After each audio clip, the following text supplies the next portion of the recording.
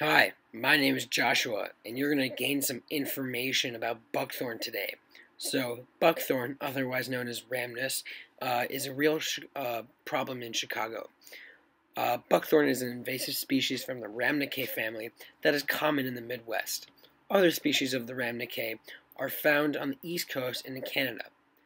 Uh, buckthorn, which is um, mostly specifically kind of attached to the Midwest, um, can grow to a maximum of 18 feet, but where we mostly see it, we see it as thin, small shrub-like bushes. On a food web, which is a way to map a more dimensional food chain, buckthorn takes up nutrients from the ground and takes 10% of the soil's energy, but nothing really eats the buckthorn.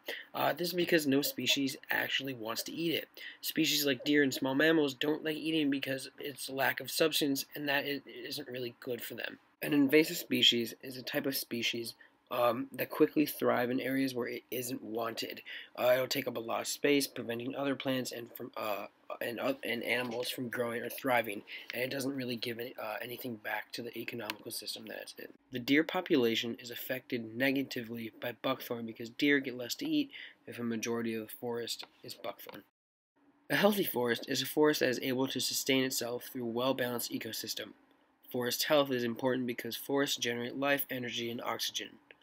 Buckthorn is a threat to healthy forests because it takes up space and isn't really helpful to the forest and doesn't allow its normal ecosystem to function.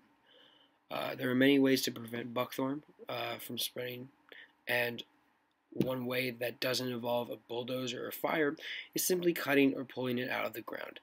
Uh, many wildlife organizations are interested in cutting down as much buckthorn as they possibly can, um, and they want to do this through volunteers. Um, it's easy to pull out of the ground or cut down, um, but since they spread so fast, they can recover quickly. Thank you for watching, and I hope you learned something about nature today.